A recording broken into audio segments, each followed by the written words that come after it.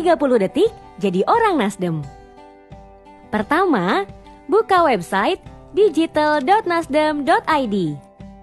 Klik registrasi akun baru dan masukkan email. Pilih domisili kakak dulu ya. Selanjutnya, masukkan data diri yang lengkap.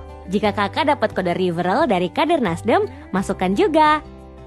Unggah foto KTP dan foto terbaik kakak. Masukkan. Jadi deh EKTA-nya. Mudah disimpan dan dibawa ke mana-mana.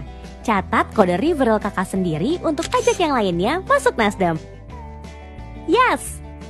Kalau bingung, tanya kakak Ruby, sang asisten virtual Partai Nasdem.